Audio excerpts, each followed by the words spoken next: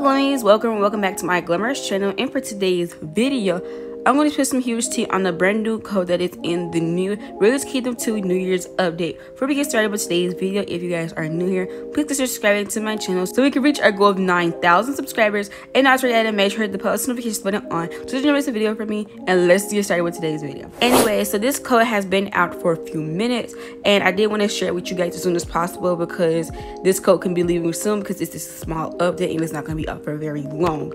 So how you put in codes for anyone that is new is you go to the shop and then you just press it. It's like a little rainbow button next to the X. It says codes. And this code is make sure a lot of people said that the codes don't work. So the reason why it could not work is because either expired or you probably put it in wrong or you probably already redeemed it. So make sure that all of the words are in all caps. So this code is good luck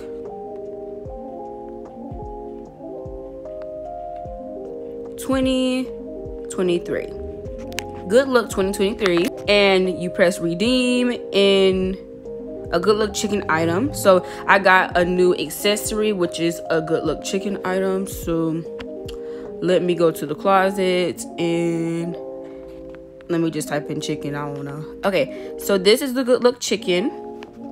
And it goes on your head and it's a new troggle update as well you guys so you just make the chicken bigger. But i'm gonna keep it small because it's gonna yeah. I'm scared of huge items so yeah this oh let me turn this off. So this is the chicken you guys. It is like the little chicken that you used to squeeze like during gym or something.